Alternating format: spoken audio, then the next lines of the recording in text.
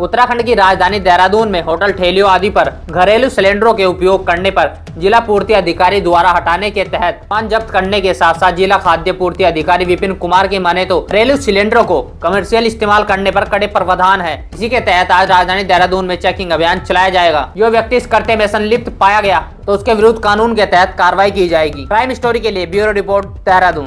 दुकानों को CSC centre मतलब कॉमन सर्विस सेंटर के रूप में विकसित कर रहे हैं।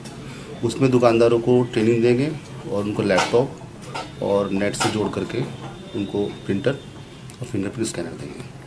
वहाँ पर दुकानदारों के पास जो भी कार्ड धारक आएगा, वो अपनी फिंगरप्रिंट्स लगा कर ही राशन लेके जाएगा पंच करके। एक तो ये हमारी वितरण प्रणाली को जो पारदर्शिता लाने के लिए होगा। इसके अलावा राशन की दुकान जब सीएससी सेंटर के रूप में विकसित होगी तो लोगों को सुविधाएँ मिलेगी वहाँ पर। जिस तरह आधार कार्ड बनवाना, राशन कार्ड ऑनलाइन अप्लाई करना या अपने बिजली का बिल पानी का बिल जमा करवाना।